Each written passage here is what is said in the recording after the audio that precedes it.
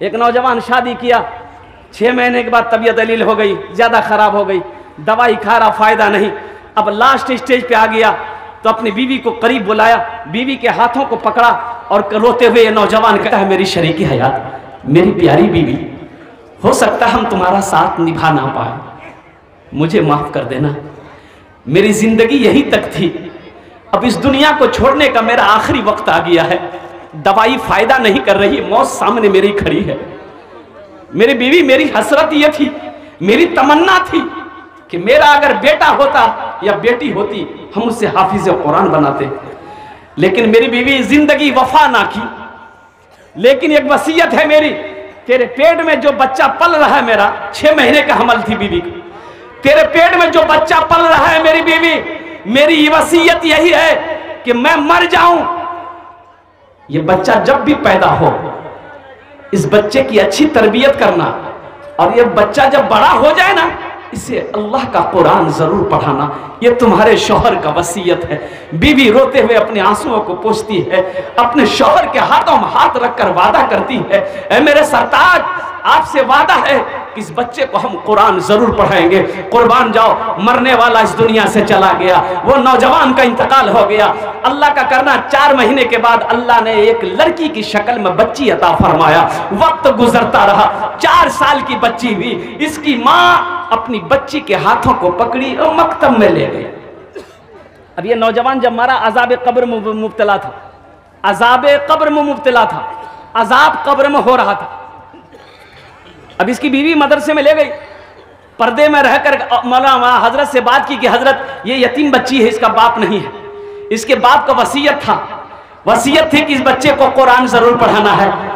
हज़रत, आपका जो मुआवजा होगा, हम दे देंगे। इस बच्ची को आप कुरान पढ़ा दें। हज़रत ने कहा कि बेटा बैठो, हम तुम्हें कुरान पढ़ाएँगे। यतीम बच्ची है, सर पे हाथ रखा। कुर्बान जाओ। हज़रत ने अपनी ज़बान में बिस्मिल्लाहिर्रहमानिर्रहीम से शुरू किया। अब वो तुतली ज़बान चार साल की बच्ची है, छोटी सी बच्ची है। तुतली ज़बान से मौलवी साहब जो पढ़े, वही बच्ची ने पढ़ी। अब वो सही से अदाबी करी, नहीं करी। कुछ हर्फ रह गए, कुछ हर्फ नहीं पढ़ पाई। बच्ची थी।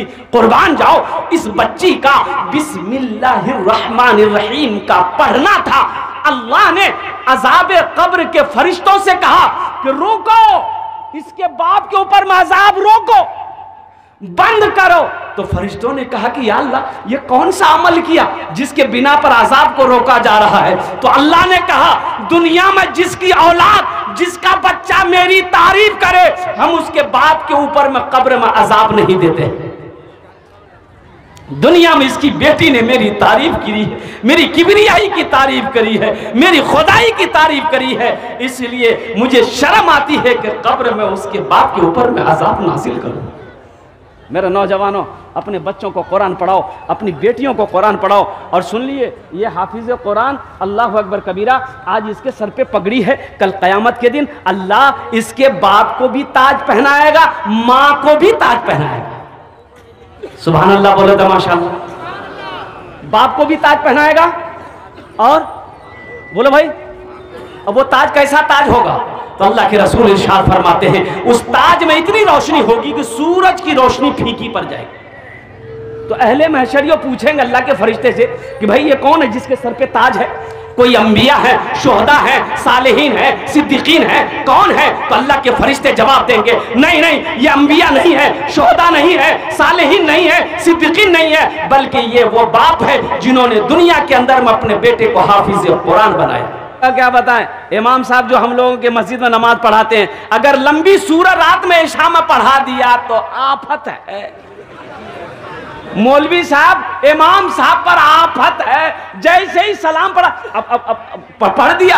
अम्मा तसालूना अजीम लजी हुम फ़ी कल्ला सयअलमुन सुम्मा कल्ला सयअलमुन अलम मिहादा वल जिबाल व जअलना नौमकुम नहारा माशा। अब जो सलाम फिर तोरा तो कोई काम छोड़ने?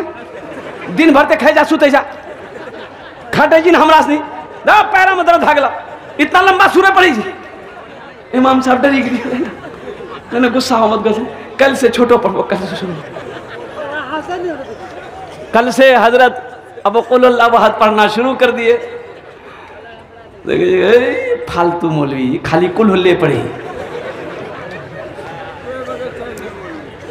अच्छा रास्ते में अगर मौलाना साहब चल रहा है, नीची निगाह करके तो चाय की दुकान पर हाँ मौलवी के देखैया वो नीचो नहीं देखे वो बहुत तह तक देखे।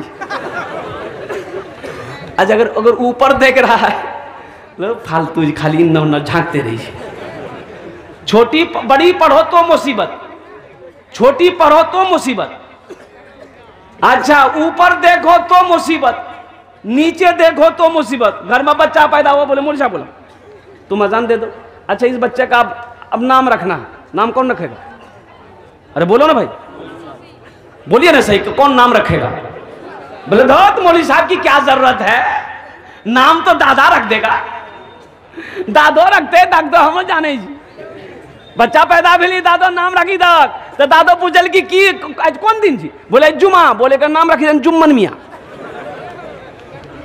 शनिचर को पैदा हुआ, शनिचर इतवार को पैदा हुआ इतवारी सोमवार को पैदा हुआ, सोमवारी।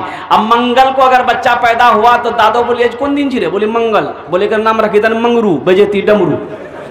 अब बुध को बच्चा पैदा हुआ, बोले, फाइनल नाम, इसका नाम रख दो, बुधवा।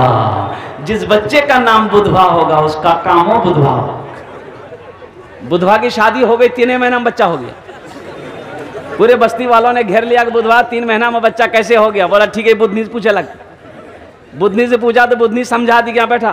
क्या कल कौन तेरा तीन महीना में बच्चा पैदा बोले, बस्ती वाला।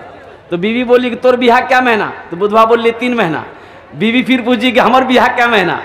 तो बुधवा बोली, तीन महीना। तो बीवी कल की तीन तीन कितना मिली बोली, छः मिली तो बीवी फिर पूछ ली कि बच्चा कितने दिन में पैदा हुआ? तो बुधवा बोली, तीन महीना तो बीवी कल की छः दिन कितना मिली बोले, ठीक है, बोल रहा नौ महीना में बच्चा पैदा भेली बस्ती वाला मज़ा करेगी। ठीक है अल्लाह के रसूल जनाब मोहम्मद सल्लल्लाहु इरशाद फरमाते कि अपने बच्चों के अच्छे नाम रखो, नाम का जात पर असर होता नाम का जात पर? अच्छा इस बच्चे का नाम रख दिए। अब यही बच्चा को पढ़ाना है। हाँ अगर कुरान नहीं पढ़ाना है, फिर तो ये इंग्लिश मीडियम स्कूल जिंदाबाद। कोई दिक्कत नहीं। लेकिन मैं ये कहता हूँ कि अपने बच्चे को इंग्लिश, संस्कृत, हिंदी जोग्राफिया मराठा, पंजाबी, बंगला, हर भाषा पढ़ाने से पहले अपने बच्चे को मुसलमानों, नौजवानों, सबसे पहले अल्लाह का कुरान पढ़ाना। अल्लाह का कुरान पढ़ाना। अरे मर जाओगे, पढ़ा दोगे बच्चे को। कुरान पढ़ा दोगे, मर जाओगे तो कम से कम यही बच्चा कुरान पढ़ा हुआ रहेगा, कुरान पढ़कर तेरे लिए दुआ तो कर देगा। अच्छा खैर छोड़िए। अच्छा एक बात याद रखिए, एक आदमी, एक बच्चे को इंग्लिश मीडियम स्कूल ले गया। मैं ले गया इंग्लिश मीडियम स्कूल मिसाल के तौर पे दे रहा हूँ। मैंने कहा, भाई, मदरसे स्कूल में इंग्लिश मीडियम स्कूल में बच्चे को पढ़ाना है। एडमिशन फ़ीस बोला कि फाइव थाउज़ेंड रुपीज़ पाँच हज़ार रुपये लगेगा। नाम लिखाई। भाई, इससे क्या कम लगेगा? पाँच हज़ार लगेगा ना भाई? पाँच हज़ार रुपये लगे। हमने कहा कि चलो, दे दिया पाँच हज़ार रुपये गिनती करके। हमने कहा, इस बच्चे को हॉस्टल में रखना है। बोला कि रख देंगे, हॉस्टल भी है, पाँच हज़ार रुपये महीना लगेगा। हम अपने बच्चे को छोड़कर चले आए घर। वो बच्चे की पढ़ाई शुरू हो गई। कुर्बान जाओ ए फॉर एंड एंड मैंने चूंटी बी फॉर बॉल बॉल मैंने गेंद सी फॉर कैट कैट मैंने बिल्ली डी फॉर डॉग डॉग ने कुत्ता ई फॉर एलिफेंट एलिफेंट हाथी एफ़ फॉर फॉक फॉक ने लोमड़ी एच फॉर हैंड हैंड मैंने मुर्गी। बताइए, दस हज़ार टका दे गया है बच्चा कुत्ता, बिल्ली, मुर्गा, मुर्गी पढ़ा रहा है। नहीं, बोलो, बात सही चीज़ गलत चीज़ बोलो तो हम अभी पैसा दे के आए हैं। बच्चा को कुत्ता बिल्ली मुर्गा मुर्गी पढ़ा रहा है। नौजवानों, हम अंग्रेज़ी के खिलाफ नहीं है, हम संस्कृत के खिलाफ नहीं है। मेरा बच्चा डॉक्टर भी बनेगा, मेरा बच्चा प्रोफेसर भी बनेगा, मेरा बच्चा इंजीनियर भी बनेगा। हमारी कौम को मास्टर की भी ज़रूरत है, मेरे कौम को साइंसदान की भी ज़रूरत है। लेकिन मैं चाहता हूँ कि मेरा बच्चा दुनिया का हर अफसर बने, लेकिन हर अफसर से पहले मेरा बच्चा जो बनेगा, वो कुरान का कारी बनेगा। इंशाल्लाह अपने बच्चों को कुरान पढ़ाएँगे इंशाल्लाह कितने लोग तैयार हाथ उठाओ इंशाल्लाह कुर्बान जाओ। ये पहले, देखिए, बच्चा पैदा हुआ अलहमदिल्ला उसको आप इंजीनियर बना चाह बनाना चाहते हैं, प्रोफेसर बनाना चाहते हैं, मास्टर बनाना चाहते हैं, वकील बनाना चाहते बनाइए। लेकिन जैसे बच्चा पैदा हो, तीन चार साल का हो तो उसको आप दीनी तालीम पहले दें, कुरान पढ़ा दिए कम अज कम उसको कुरान पढ़ा दीजिए घर में, या मकतब में, कहीं पर भी, फिर वो बच्चा पाँच छः साल का हो जाए, उसको स्कूल में डाल दीजिए। अल्लाह अगर तोफीक देती है, सोने पे सुहागा होगा। कि दो तीन साल के अंदर में उस बच्चे को अगर आप बचपने में हाफिज बना देते हैं, हाफिज अगर वो बन गया तो जो भी अफसर बनेगा, बड़ा तेज तर्रार अफसर बनेगा। अभी नेट में गुजश्ता साल, पिछले साल, नेट का जो एग्ज़ाम हुआ पढ़े लिखे बच्चे हमारे बैठे हुए हैं 1800 बच्चों ने नेट निकाला 1800 बच्चे नेट निकाले, मदरसे का हाफिज लड़का। डॉक्टरी डॉक्टरी में पास किया। डॉक्टरी में पास किया। 1800 बच्चे 1800 बच्चे। जो मदरसे का पढ़ा हुआ हाफिज कुरान था। मेरे भाइयों, अपने बच्चे को कुरान पढ़ाओ। अल्लाह उसका दिमाग को खोल देगा। फिर वो बच्चा इंजीनियर अगर बन गया, अगर वो बच्चा डॉक्टर बन गया, अगर वो बच्चा वकील बन गया, अगर वो बच्चा प्रोफेसर बन गया तो इन वो कई सौ पर भारी होगा। इसलिए अपने बच्चों को कुरान पढ़ाओ। कुरान पढ़ा दो, ताकि जब तुम मर जाओ, जब आपका इंतकाल हो जाए तो कम अज कम यही बच्चा कुरान पढ़कर, रब की बारगाह में दुआ कर दे कि अल्लाह मैंने कुरान पढ़ा है, मेरा बाप इस दुनिया में नहीं है। इसका सवाब मेरे बाप के रूह पर पहुँचा दे, उनकी बख्शिश फरमा दे। शायद अल्लाह आपके गुनाहों को माफ़ फरमा